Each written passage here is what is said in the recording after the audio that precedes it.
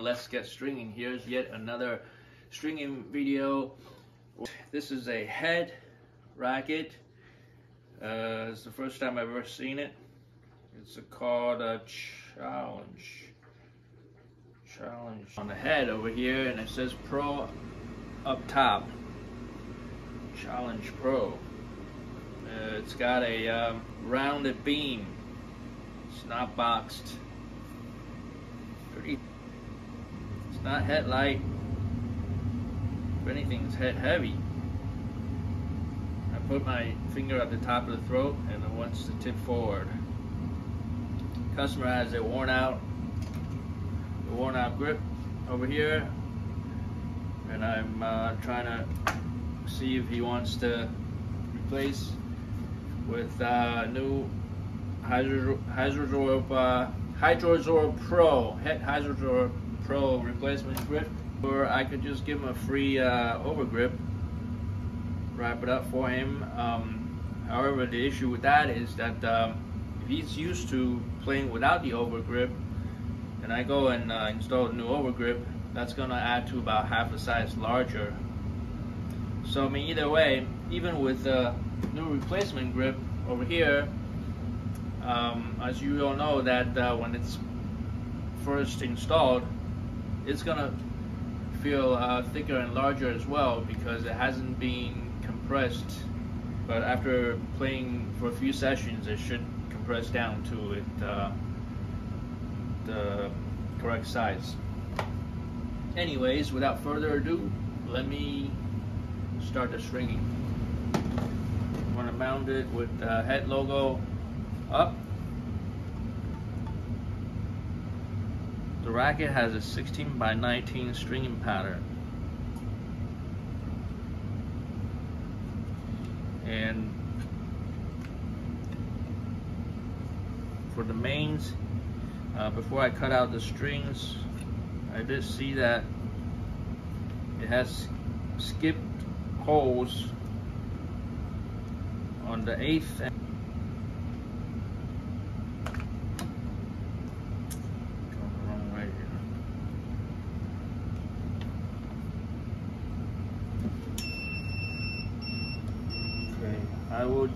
Fifty pounds for him. Not so high and not so low. On my personal rackets, I've been playing at uh, on average 48 pounds or lower these days during the winter because things are more stiff during the winter. In case you wonder what are the tensions used by some of the pros, here's um, a picture of uh, what some of the pros use at the recent um, Dallas Open. Give him the Hyper G 17 gauge. I think I'm down to the last string job here. Gonna see how much is left on here.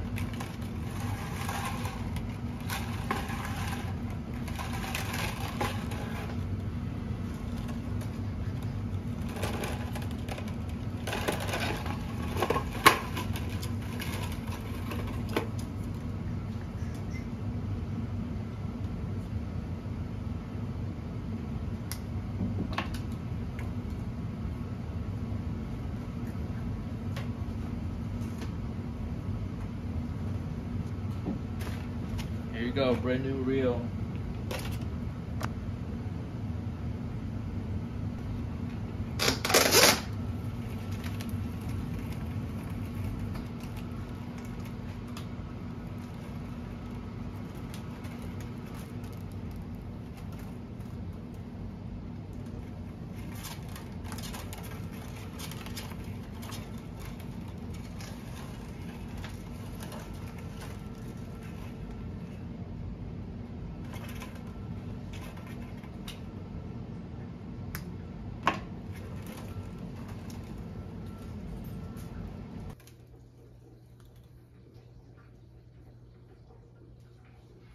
This racket has six grommet holes in the throat.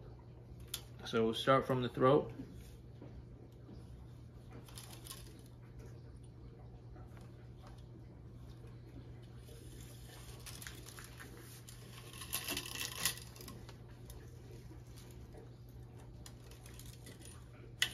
for new customers, I measure their weight balance and swing weight.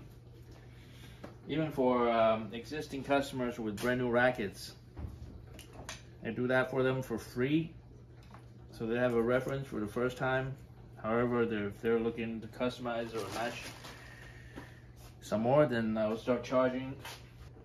I think I'm gonna give them free um, power pads.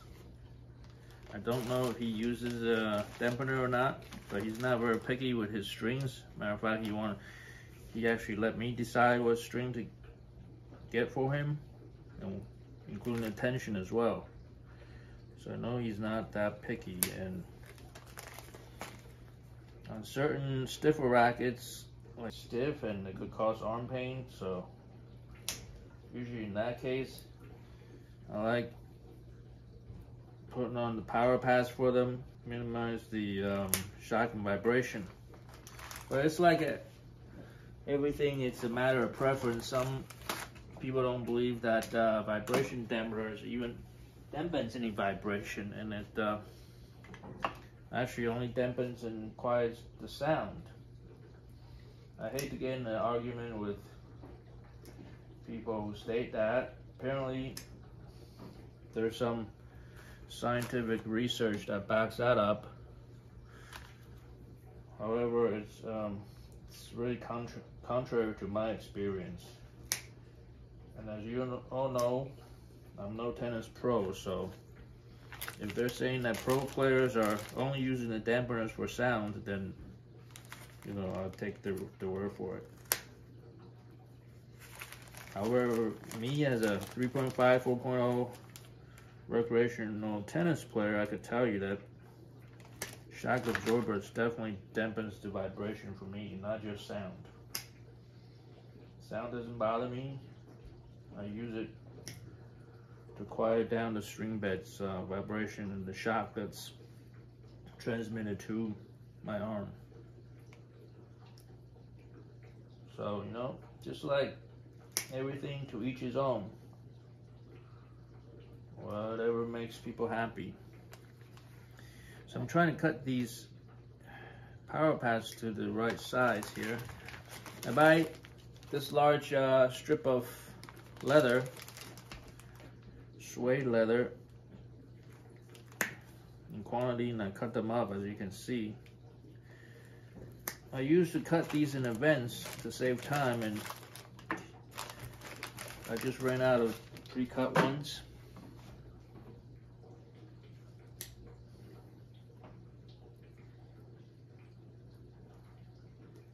So use that, that one in the middle and then these two on the sides.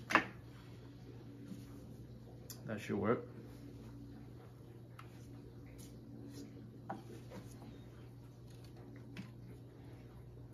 Try not to drop it. This viewer, I don't know if he still watches my video, but he criticizes me of being a so-called pro on Facebook actually. He took a screenshot of me pre-weaving a bunch of my strings, my cross strings, went over to, to Facebook and ripped me a good one on how this so-called pro stringer is doing this and he and that he tried to uh, help me and I wouldn't listen. I've had to delete a couple of his comments from my channel simply because the fact that I felt that he was trolling me and kind of condescending. I did not ask for anybody's advice. If I were, I clearly said if I, I were, I was. And I never stated the fact that I was some kind of pro stringer. Unlike him, I never said that and I was disappointed the fact that I reported the post to the um, Facebook group's admin as well as Facebook to delete his post for the simple fact that he's trying to ruin my reputation as a stringer and as a not only as a stringer but as a fellow person. Basically trying to defame me. You know? I mean, if my business was worth a lot, I think I'd have legal grounds to do a legal action against him. But I'm not. I was just disappointed. However, contrary to my belief, most of the people who, who commented on his post in efforts trying to talk me down to ruin my reputation, most of the comments on there, on there seem to support what I was doing. And it points out the fact that he simply wasn't aware of the fact that people have been pre-weaving crosses like I did in one of my videos for since ages, including badminton players. And he was the one who was making uh, a fool out of himself for being uninformed and trying to talk people down as if he's like more superior.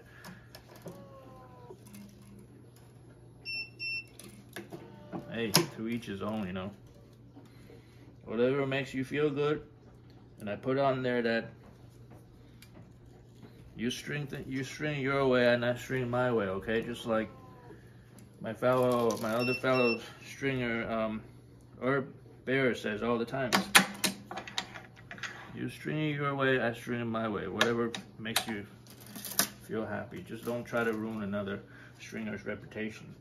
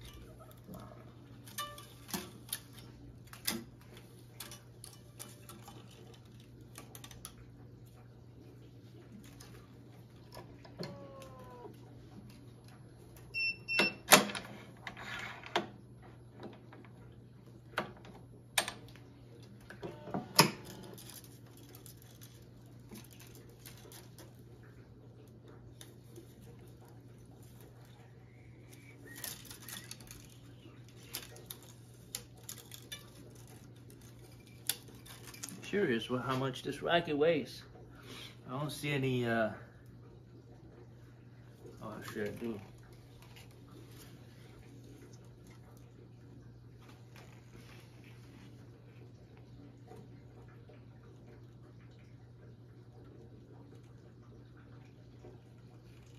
Two ninety five. Yes. 295 unstrung. Balance. Uh, it's hard to reach. I think it says 32. The beam is pretty thick on this frame. Then I gotta put the third leather pad on here. Yes, and so this stringer try, try to defame me try to tell me that uh, don't string for anybody.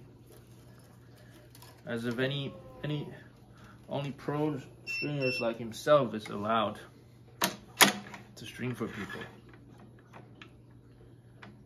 As you can see, I'm no I'm no tournament stringer or anything. I'm not racing against time when I string for people. And I put my videos out there for any um, mistakes or any anything I did that shows I'm lacking in skill and any constructive advice that viewers give me anybody gives me. Doesn't matter if you're a touring stringer or experienced stringer or novice I'm, I gladly accept it you know. Very humble humbly I have a civil discussion with people, but I don't talk people down. Even if they're telling me stuff that I think is so simple and I already knew and I've been doing it for a long time, I don't try to make them feel bad. As long as they're trying to help me. But no, not the way this guy talks. Just, he just straight up very nasty and trying to shame people. And yet he complains about the fact that people don't want to learn from him. Come on. Why would I? I put on there on Facebook, I said, I'm, I gladly take anybody's advice except yours. Just not you. and then after so many different comments, he said something on there to the effect that, oh, as long as you learn from somebody, even even if it's not from me. Alright, whatever you said. I'm not losing any sleep over it. Whatever floats your boat. You do things your way, I do things my way.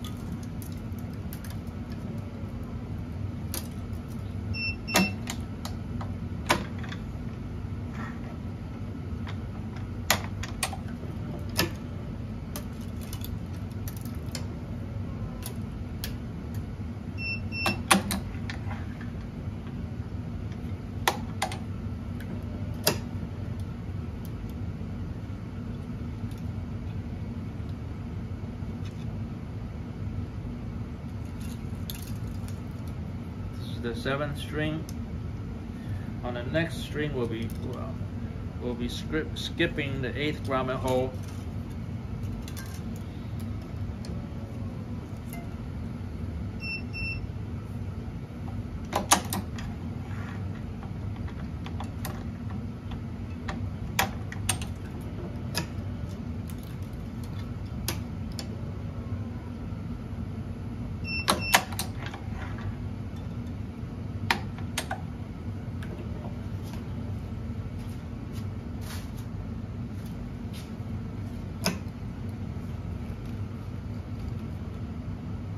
and going to the ninth grommet hole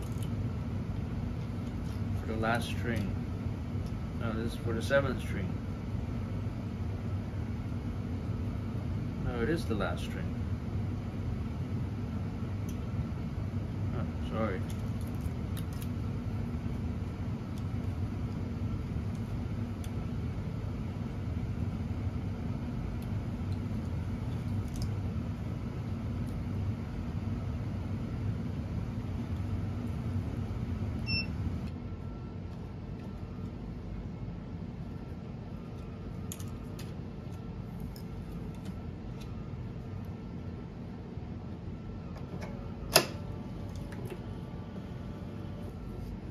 looks like I cut these strings a little too short for this frame, so I'm gonna manually add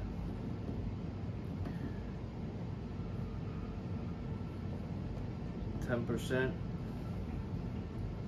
for the tie-off knot.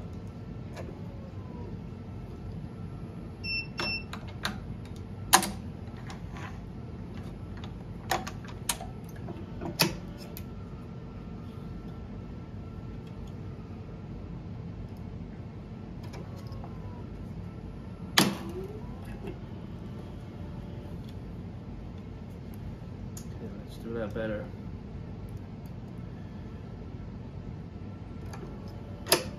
I wouldn't grab.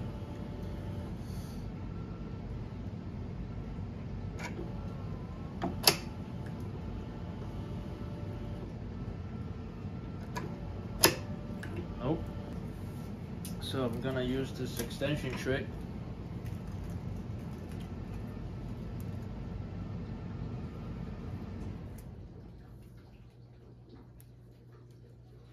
Loop it through the starting knot like so. And then take the tag in and feed it below the loop. So make sure the uh, starting clamp hangs somewhere in front of this Diablo.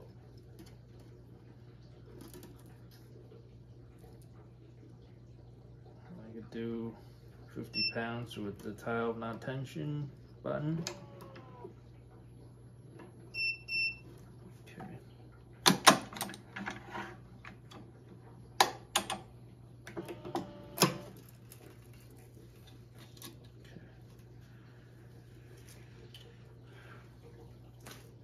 Alright, now I can throw away this uh, extra string. Let's plug for tension.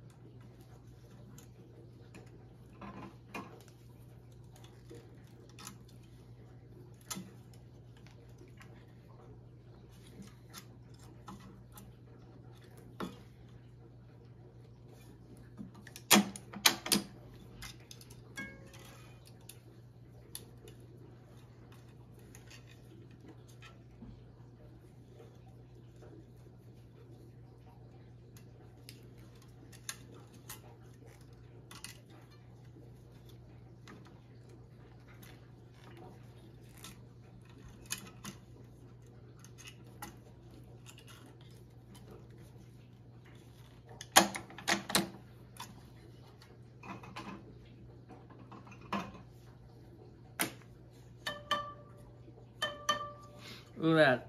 The 10% on one side was applied by the machine and the other side was manually added by me. And they sound about the same. I like that.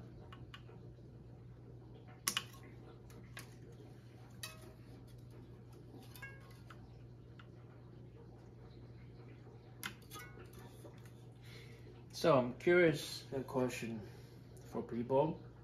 Once I get the process going.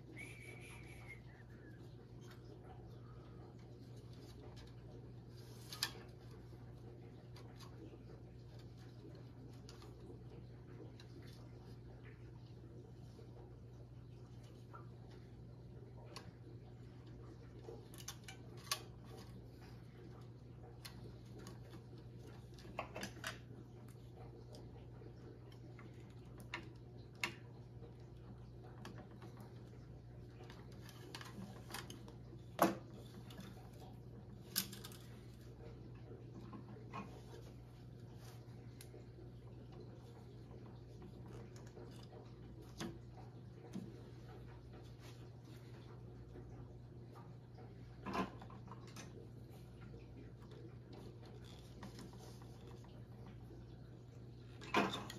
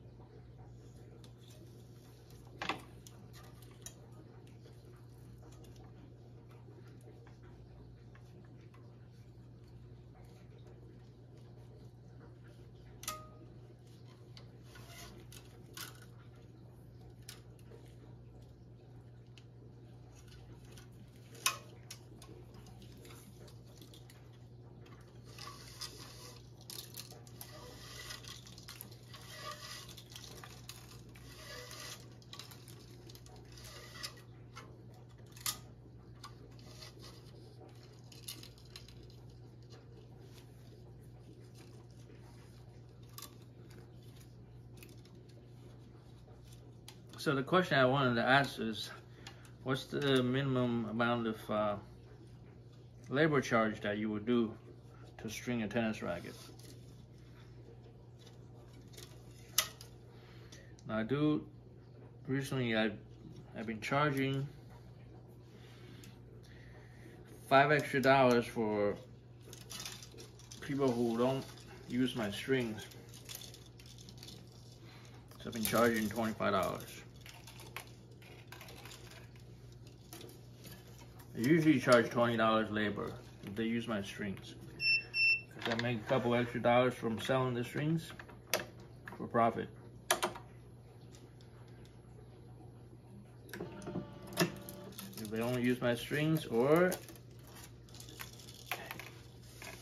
if they uh, use natural gut, which requires a little bit more work, charge 25 plus the cost of the string. The cost of my string is usually no higher than what Amazon charges. So everybody run their own business with a different business model. So in different areas, uh, cost of living, whatever is all different. Just have to find out whatever is worth worthwhile to you, the time that you spend how much you value your time. I'm sure the business volume has something to do with it too. So recently I got this coach from a club around here who wants to bring me rackets. They got pro shops over there that charge a lot of money for players and they're always backed up with work. But this guy wants to make a deal wants me to string his racket for $20 and he provides his own strings. And going forward, he brings me rackets, let's say on a weekly basis, and he's looking to strike a deal where I only charge him 12 to $15 labor. They're, they're, they're, they're, they're his clients, and I don't sell the strings. He provides the strings. I don't think that's worth it. I don't know what you guys think. I don't think that's worth my time because as you can see, it doesn't take me, I'm not no tournament stringer who strings a racket in 15, I mean, under 15 minutes. It usually takes me at least half an hour, 40 minutes. With natural gut strings, takes even more. So I don't think it's a good deal for me. I feel that he's just looking for a, uh, a sweatshop who can do the labor work for him with little to to no profit on the labor, no profit on string sales because he wants to sell strings. So I don't think that's a good deal on my part. Even if he brings me volume, what am I gonna do? Make a couple dollars from labor, which is usually you don't make that much profit on labor anyways.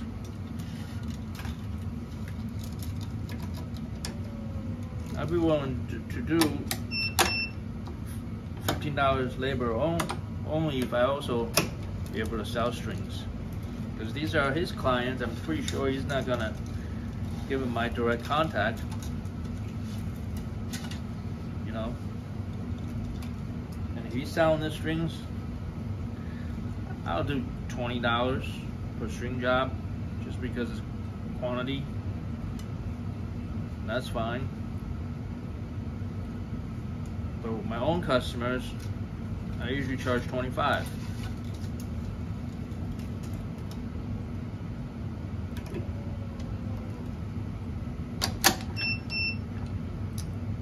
So let me know what you guys think. Now, I just came back from Southern California. I got a niece out there who played uh, tennis, who played high school tennis a few years back. She's working now. She said that when her coach used to string for her, I don't know if the coach does it himself, or she, or, or he's, or she sub subcontracts it out, like this coach that I'm talking about. Um, the coach usually charged her $40 labor before strings. Now this is Southern California by LA. I'd imagine the cost of living wise is comparable to what we have over here in New Jersey. So think about that. Now, if I were to string for this coach who charges $40 and leaving the cost of the strings aside, I'm sure he makes a few bucks from the strings as well. He buys them in the reels and charges the costs at least for the um, the pack price. We all know where to get strings. It's no secret get strings for cheap, cheaper than on online retailers like uh, Tennis Warehouse or Tennis Express.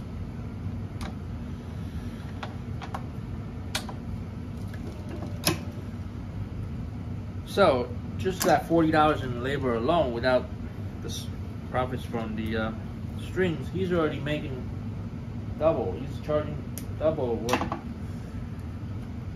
private stringer like me charges okay? That and that was a few years ago we're talking about. Thinking about think about the cost of living that went up during and after the pand pandemic now. I mean, I was out in California, Southern California, for $20, you can barely get a bowl of noodles over there. I mean, fast for fast food, you get a combo meal, whatever, it's over $10. It's hard to get anything under $10 these days.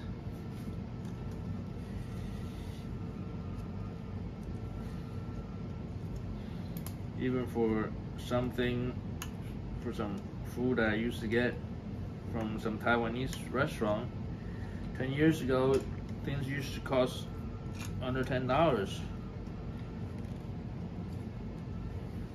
Now they're like 15.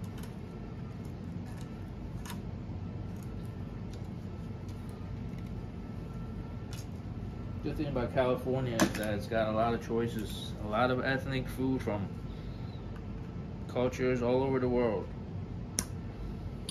Whatever your taste buds desire, whatever your palate is, you're able to find it there. But they're not, I mean, the choices are there. You can find them all over the street. They got literally strip malls over there full of restaurants that sell Asian cuisines.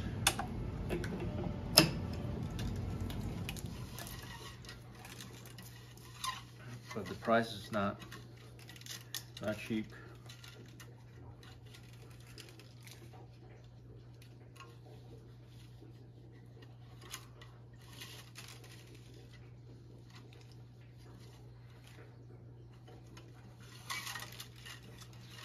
Sorry about the lengthy video with this one.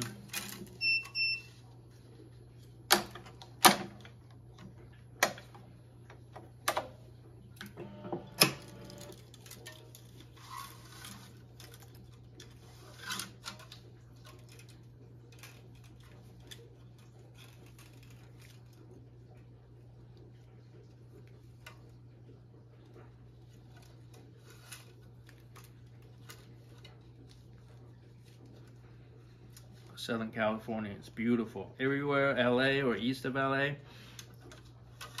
you can see these mountaintops with peaks full of snow. I mean, it's common for us to get several inches of snow in New Jersey. Matter of fact, we just got eight inches uh, yesterday.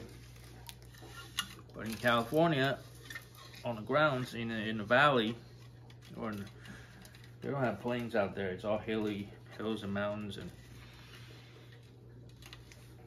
down the valley.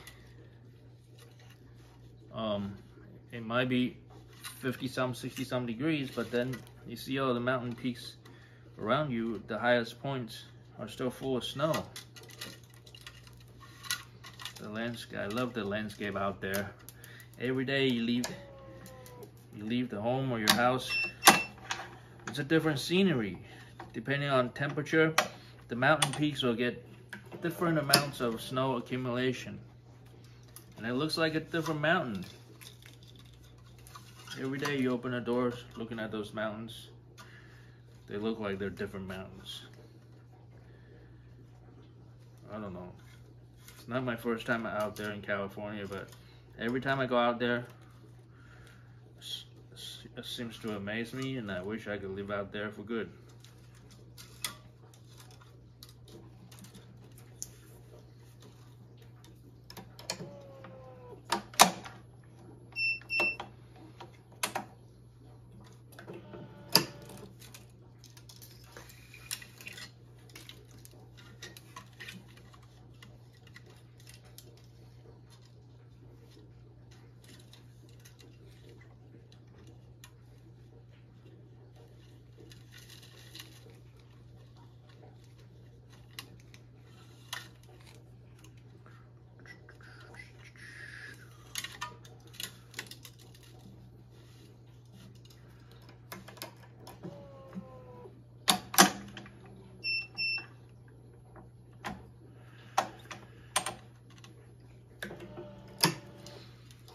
Said that California is one of the few days, few states where, few states where it's possible for you to go climb the mountain and also to go in the in the beach during the same day, easily.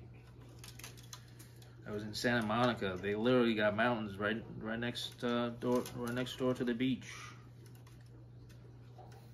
And don't forget, you could also go skiing during the same day too.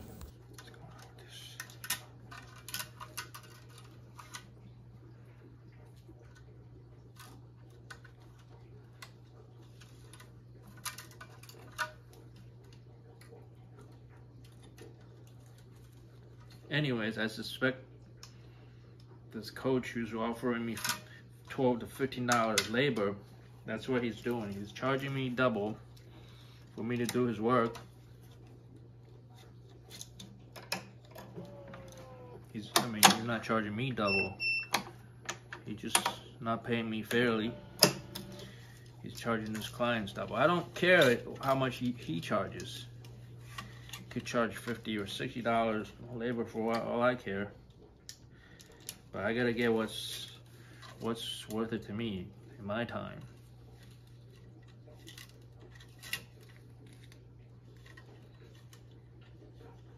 Let me know what you think or what your take on it. Would you take 15 to 17 to 15 dollars? I mean 12 to 15 dollars? Come on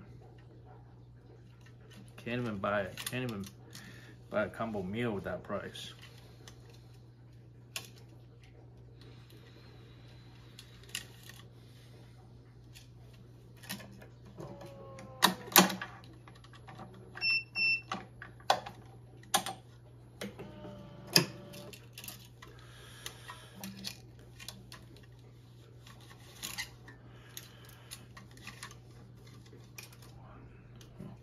last one.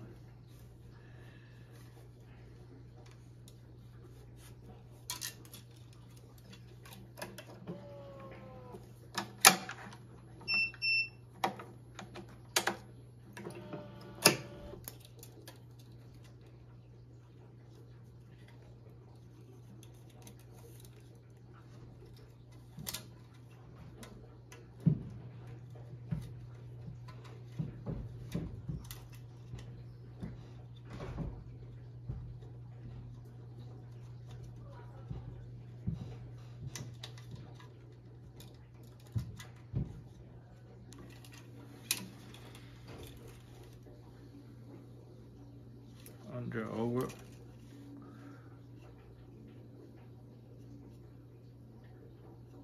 over under over under over under under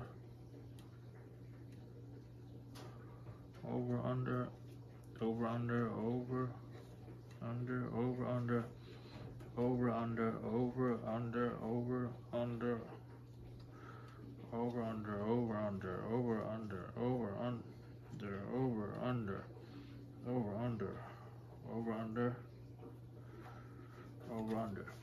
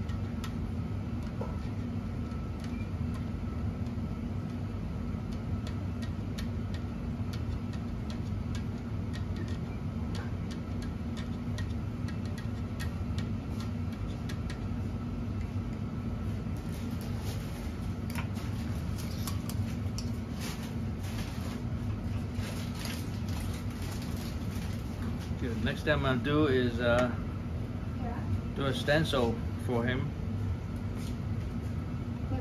I'm gonna do a stencil for him. I'm gonna apply the stencil for him.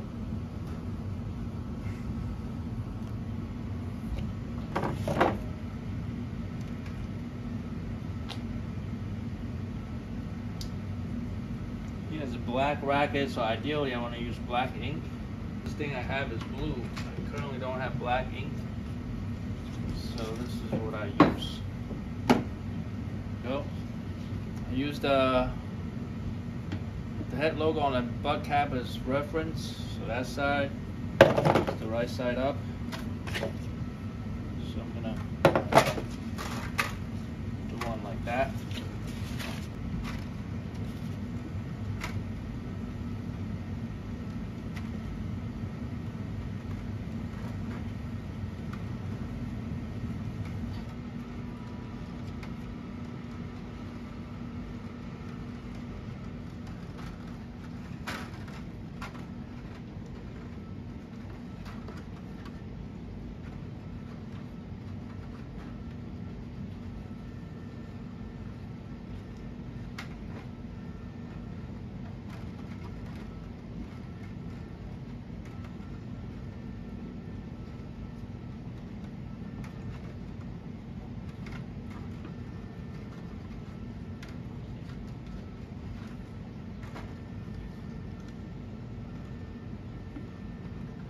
Harder to coat these slick poly strings.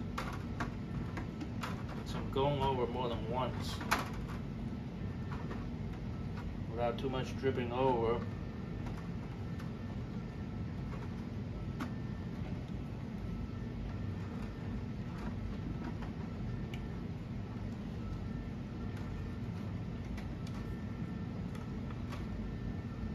So that's one side flip it over and apply the other side like so.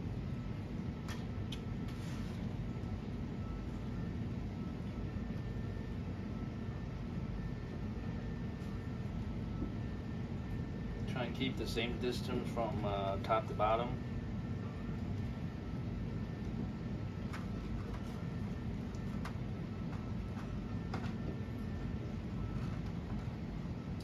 So wherever I see over drippage, just try to smooth it out first without squeezing the, the bottle.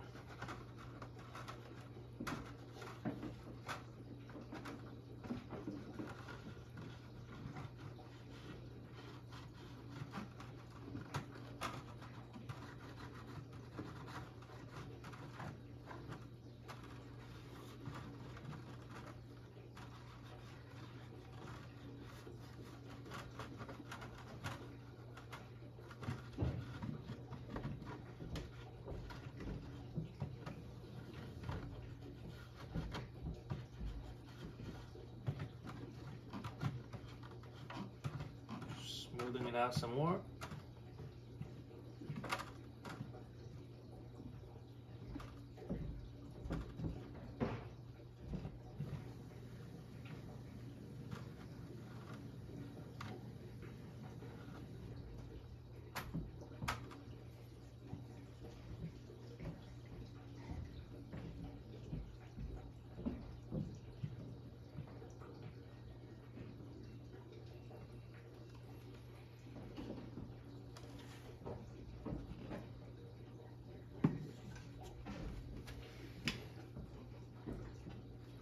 Okay.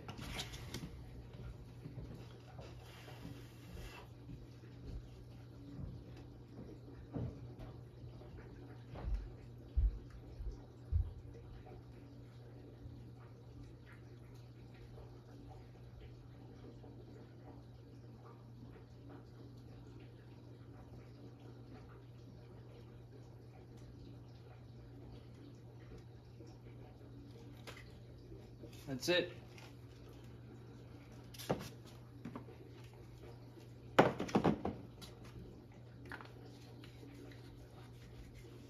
And I keep my bottle upside down this way. The uh, applicator will not ever dry up. At least it hasn't yet.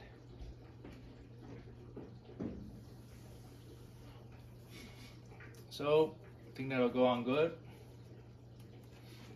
Next thing I'll do is uh, replace his uh, grip. I'm not gonna make a video on that since I already done it before. So, all right, thank you very much for watching, guys, and uh, have a nice day. Don't forget to like and subscribe. Ciao.